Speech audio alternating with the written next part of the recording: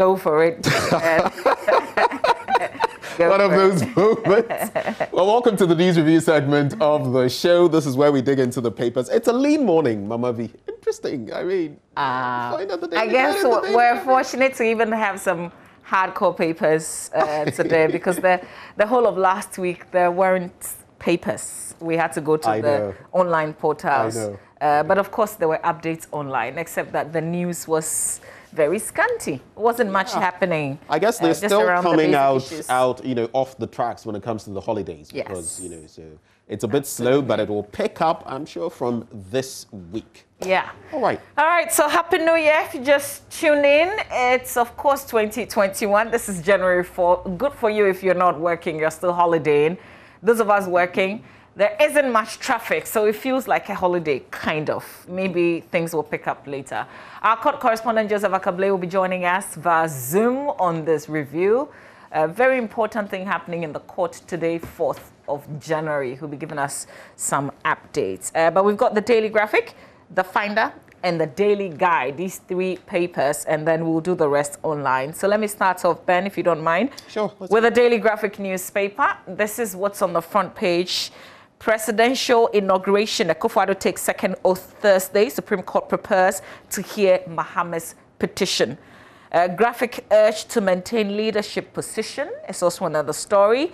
And then I guess the, big, the big one from uh, yesterday's address by the president, basic schools reopen January 15.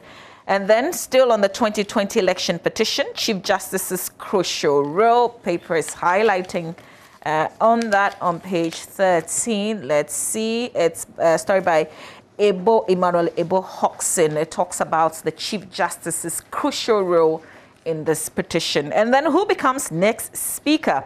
Race heats up. Uh, we will try and get some names that maybe the paper is mentioning in today's edition. Uh, let's see. Hmm. There's Mr. Freddie Blay's name coming up. He's the national chairman of the NPP. Uh, there's Professor Aaron Mike Oquaye, the speaker in the seventh parliament. Uh, there's Justice Jones Dotse's name also coming up. Yep. He's a Supreme Court judge. And then Ghana's High Commissioner to Canada, Nii Ayikoi Otoo. He's also a former Attorney General Minister of Justice. Uh, Ghana's High Commissioner to the UK, Papa Owusu his name has also come up. And the paper says that another, another uh, source would not conf confirm or deny the names, but insisted the party was yet to take a firm decision on that. From the camp of the NDC, a source confirmed to the Daily Graphic that the party would also propose a candidate for the position of Speaker. It mentioned some of the names that had come up strongly as the outgoing second Deputy Speaker, Alban Bagbin, who is also the current member of parliament for Nadowli Kaleo, and then a former speaker, Edward Doe Adjaho, and a former deputy chief of staff, Dr. Valerie Sawyer. Very interesting names. The others, the source said, were two retired justices of the Supreme Court, Justices William Atuguba and Ophelia uh, Adjeibea Adinyira, and the General Secretary of the NDC, Johnson Asiedu Nketia. Wow. Well, lots of names coming up. Yeah. Uh. Interesting, interesting mix there. Yeah, and I'm yeah, just, yeah, yeah. you know, looking forward to what exactly is going to happen, especially with the NDC also putting forward, uh, you know, names at, at least for the speakership position. One thing is clear, working together this time is going to be more than we've seen in the Fourth Republic, and so it, it, remains to be seen. But of course, there's that issue that still hangs, which could determine which party even might have the opportunity of selecting, you know, uh, the Speaker of Parliament. Mm. And it has to do, and not just the Speaker of Parliament, the leadership of the committees of the House and all of that. And it has to do with the issue we're looking at today, the Hohoe uh, case. Today's mm. the fourth Today's the fourth, yes. that issue is going to be addressed. You remember what uh, Godfred Dame uh, pleaded for. And so I, am just waiting. Me, mm. I've told you already, testing the law is, is something that excites me. So I'm waiting to see what happens today. All right, let's look at the back page. It's got some sports. It says Liberty deepen Legon City's woes. Mm. And then Rootless hearts cuts Bechem to size. I like it when they call hearts rootless. Because originally that's, that's, you know, what we are. What, what you want. That's all home no pay. But you know, the, the coach the coach was not happy with the lads' performance. He said while they actually it was a clean sweep, they did not do what he had wanted them to do on the pitch. So I, I, I wouldn't take that coming from you. No, I but that's also, what your coach said. I am reading the headline. I'm reading the That's not what it says. the secretary of Yeah, but that's not what it says. It says ruthless heart cuts right. him to size. Right. Uh, let's welcome Joseph Ackah-Blay. I should have given you this headline to read, Ackah-Blay. the, the, the, the story on hats. Where's his face? Okay, there he is. yeah we hear how Hearts actually much, uh, managed to win that particular match. We will not be surprised if there's news of some possible bribing of wow. officials among other things. Wow, look, baseless allegations. But this is not the even new. Will be unraveled eventually. Shall I show you what the back page says? Do you want to read it? No, I've heard the story already.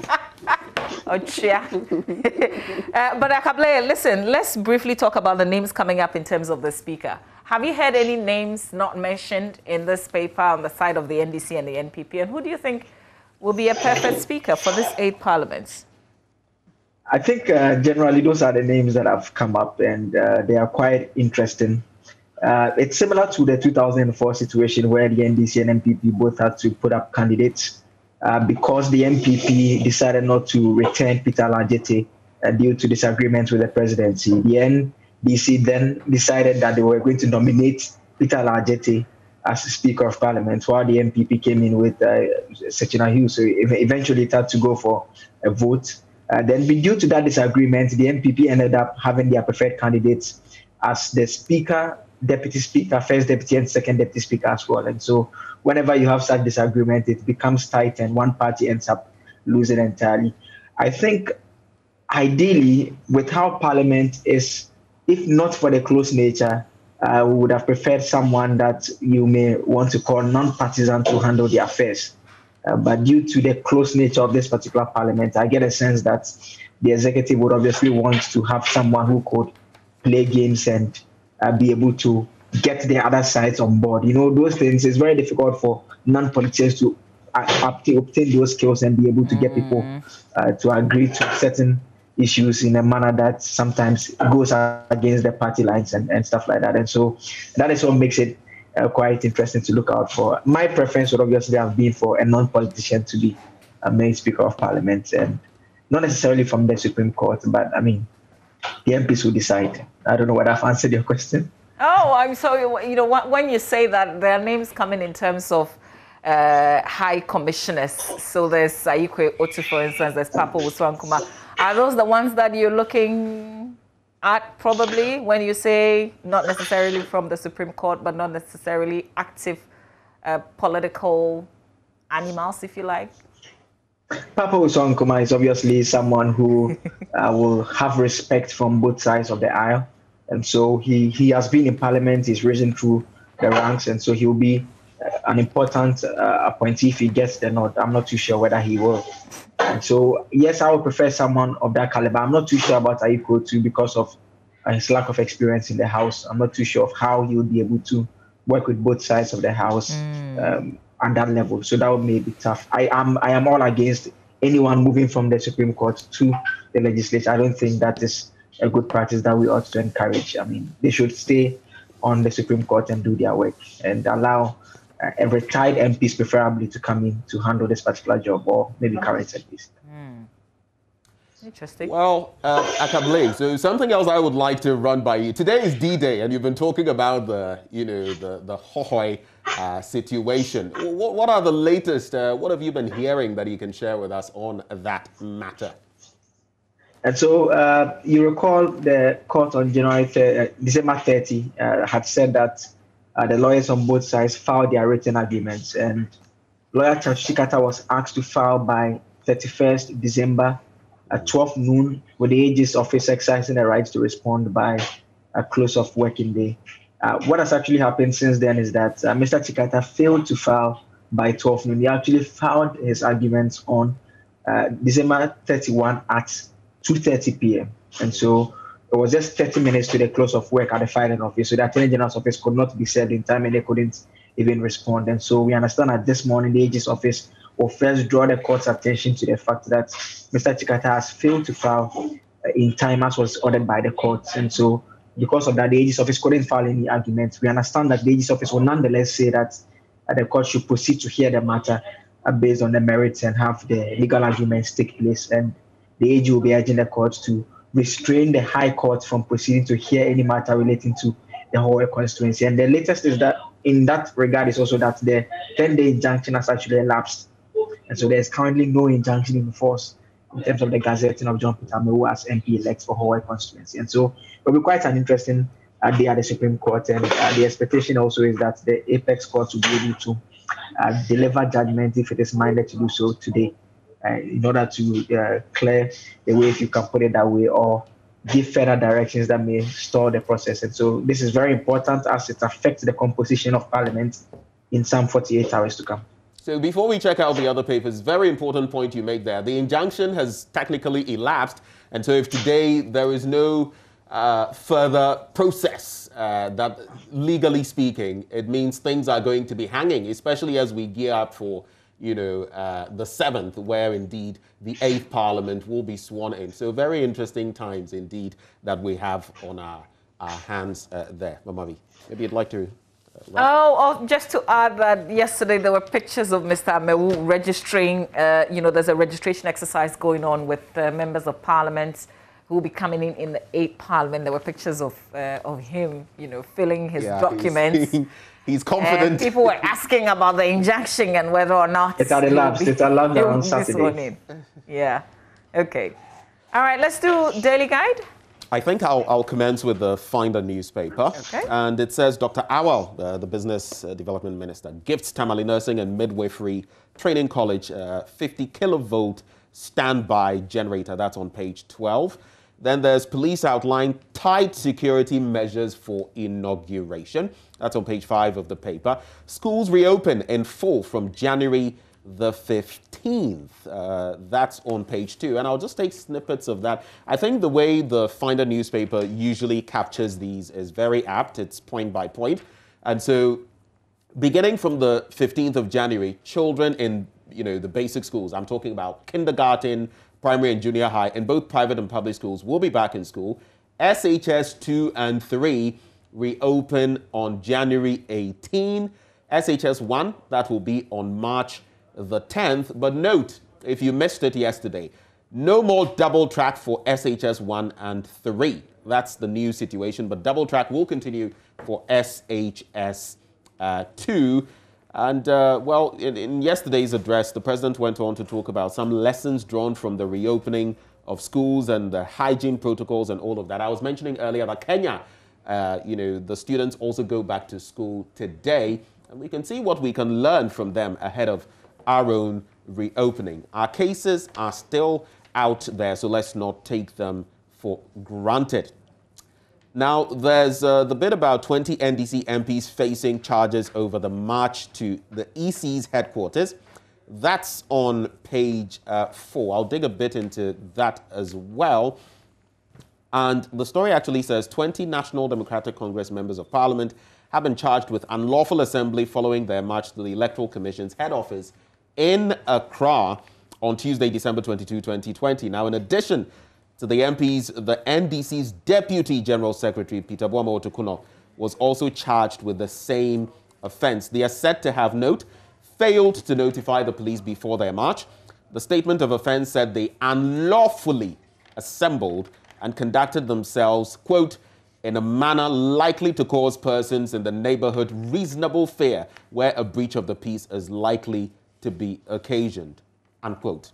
And uh, those charged, Haruna Iddrisu, Mohammed Mubarak Muntaka, Samuel, uh, Sam George, John Abdulai Jinapor, Rockson Dafeamekpor, Ras Mubarak, Mutawakilu Adam, Ebenezer Okletey Terlabi, uh, Dr. Kwabena Donkor, and ABA uh, Fusaina. There are others, but those are some of the names uh, right there no just, ill motive in yeah. sorry about that. No ill motive in transfer of judges. That's according to the judicial service. That's mm. a story as well on page four. Interesting one you should get into because there always it's just like the with the police reassignment, reshuffling, and all of that. There's always a bit about oh there's something in there. Why am I getting, why is this person getting reshuffled and all of that? So uh, all of that in there on page four. You had wanted to. Um, jo Joseph, just before you leave us, the last bit on this, uh, on the back of the NDC minority members who have been charged, do you know the manner in which this will be carried out? And so um, they are to show up at the circuit court. Uh, we understand that some of them have indicated that they will not be showing up uh, they, they, are, they are drawing on what they believe to be some form of immunity because they say they have parliament today at 10 a.m. And so if they are required to show up in the court at 9 or at 10 a.m., they cannot show up. And so and that is the latest that we've picked up on that particular issue. Um, but they were served, they've been served, we understand, with the court summons prior to this particular weekend. So uh, we are waiting to see. And again, some of them are also saying that uh, they've not the police prosecutors and the state prosecutors for that matter have not written to the speaker informing the speaker of this particular move. You know, in times past, we've seen it, the speaker is written to and informed that this is what is happening. And so the MP should be excused or allowed to show up. Then the, it came up during the Ayariga issue, the High Court. The speaker actually wrote to the High Court asking the High Court judge to fix hearings such that it doesn't affect the work of the MP. But the High Court judge then uh, rejected that particular letter and said that I mean the court is independent and the legislature cannot determine for it how it runs in business and no such immunity exists for an accused person. And so today will certainly be an interesting day in that the MPs may not show up, and if they are not, then the only other option, unless there's a good reason why they are not showing up, will be for the court to the state prosecutors to ask the court for an arrest warrant to be issued against them. And so we don't know how all of those issues will pan out, unless maybe the prosecutors have also been informed of their inability to show up due to parliamentary business. But the charges against them, one relates to unlawful assembly, and the other being a breach of the Public Order Act. Mm. Okay, very interesting. So one eye is at the Circuit Court and the other at the Supreme Court, all happening this morning. Uh, Joseph Ackah-Blay, We'll let you go for now. Thank you very much. That's our court correspondent. You've got one last paper to do. Yes, one last paper. But you know, interestingly, we found out at a point that even in Parliament, there could be the situation of contempt. And I'm wondering whether this action, at least from the court's end, because these are parliamentarians involved, whether uh, it could in any way, you know, border on those lines where you're summoned to appear before a court and, you know, you fail to show up because um, in this instance, well, there are those technicalities of the Speaker of Parliament citing that we're supposed to have, you know, something in the House of Parliament, and so these people mm. are not going to be able to make it. But like you heard Ackah-Blay say, some of them are simply saying, we're not going to show up. Mm. Well, we wait to see how things unfold this morning. Well, uh, so the Daily Guide, Mahama in court seeks election rerun. And then uh, Supreme Court hears a Amewu injunction case today. These are all cases we've heard. Interestingly, in the Daily Graphic, it gives a blow-by-blow account of you know the difference in the case, the petitions, 2012 and now. Okay. 2012, where you would have you know cases of overvoting, uh, polling stations that didn't exist per what the claims were, and where you would have the petitioners being the, the current president, the vice, and um, the chairman of the party at the time, Jake Obechebi Lamte. In this instance, it is, you know, the flag bearer of the NDC uh, going toe to toe with the winner uh, or the president elect, uh, Nana Addo Dankwa Akufo-Addo, and the EC. So it, some very interesting dynamics, the changes, the different scenarios. And mind you, in 2012, the NPP was calling for the entire presidential election to be overturned. In other words, Nana Addo Dankwa Akufo-Addo, now president, to then be declared president. That didn't happen. But in this instance, uh, you know, John Dramani Mahama is simply saying that none of the parties got the 50% and over. And so, you know, uh, th there must be a rerun. So very, very interesting dynamics. You should check out the details from the Daily Graphic with regard to the differences, 2012 and now. Okay. All right, let's quickly do myjoyonline.com. Uh, myjoyonline.com, we'll probably see what's happening on the BBC real quick before we introduce our sports segment. So this is what's happening on our page this morning. Schools to reopen on January 15, says the president in that state uh, in that address yesterday. There's a playback if you missed it. Government reintroduces free water and electricity for Lifeline customers. That's for the next three months, January, February, March. schools to, re uh, to resume. Okay, this was before the address. Uh, we will not honor police summons to appear in court on Monday. Uh, that's according to the minority leader. We've heard Joseph Ackah-Blay give us the backstory. Uh, Bono East Regional Coordinating Council inaugurated to commence socio-economic development. FBI searches for victims of $28 million Ponzi scheme. Plenty other stories on myjoyonline.com. Uh, Ghana will plant, harvest, and build to be fruitful, says Dr. Mensah Otabil of the ICGC. Plenty stories there uh, that you can find time and then read. Maybe we can do the BBC briefly. There's also Trump tells Georgia official to find votes, and there's been that telephone conversation about an hour long where he was supposedly telling the person, look, find me some 11,000 plus votes. And, you know, I don't know, but Trump never ceases to surprise. There's also, after another Chelsea loss, how much pressure is Lampard under? That's a very uh, interesting one. At a point in time, we were calling for our coach to get the axe. Uh, now, when I say our coach, it excludes Mama V because she's now a Leeds United uh, fan. You know, just and uh, just your Leeds I- United, no. Ju- hey, just when I just when I, I took my eyes off the ball, I realized Uh-huh. Manchester United was second on it. I was like, what? We're s- level did they on points there? with Liverpool, and now you're thinking, uh, no, Oh, no, no, confess, no, no. confess. No, are no, you going to? Are you going to? I am not. again? I'm not thinking anything. Okay. And finally, on patrol night vision in DR uh, Congo. So those are some of the stories from the BBC as well. Okay. Let's, uh, you know, see the position now and do some sports. That's up next on the AM show. Yeah, but just before that, I think this is very interesting. South Africa targeting to vaccinate 40 million people by end of 2021. 40 million. 40 million people by end of 2021. That story is right there on the Africa page of the BBC. Okay, so this is where we have to leave, we have to end the review. After sports, we'll come back and deal with some very important matters with the reopening of schools. We've got some stakeholders on the show to have a conversation with. We will also be talking uh, extensively about the NDC, the minority members of parliament who are expected to appear before court today. You've heard some of them say that they will not honor that. We will be discussing that issue. But we've got a special package in sport today. 54 years ago in Kingston, Jamaica, the special 4x 100 meters quartet comprising Bonake Men's, Ebenezer Charles Okwadi, James I. Addy, and Stanley Fabian Allotey won gold for Ghana in grand style at the 1966 Commonwealth Games. The young and energetic Ghanaian athlete set a games record and denied host Jamaica of gold. Ghana's 1966 success story on the tracks cannot be overemphasized because of the giants the Golden Quartet were up against. The gallant men who run the first and third legs, men's and Ayadi, have sadly passed on, but Allotey and Okwadi are still very much alive, residing in the United States and Ghana respectively. To finally get to tell the wonderful story, George Jr. of Joy Sports caught up with Okwadi, nicknamed Daddy Long Legs, at his home in Accra at almost 80 and alone these days after the passing of his wife, Professor Irama Adi.